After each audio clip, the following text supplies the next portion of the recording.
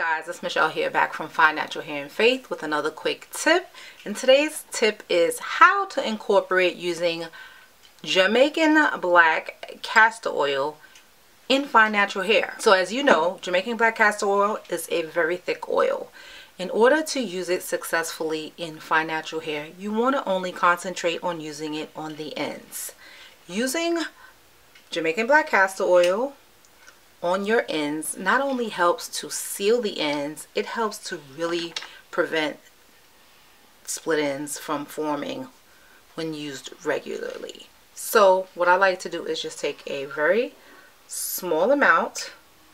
When used on dry hair, like I have my hair in a wash and go, it's drying right now and it's been banded some. I just massage a little bit into the ends of my hair this tip works especially well when you have your hair in twists or braids. Thanks for watching and I'll see you in the next one.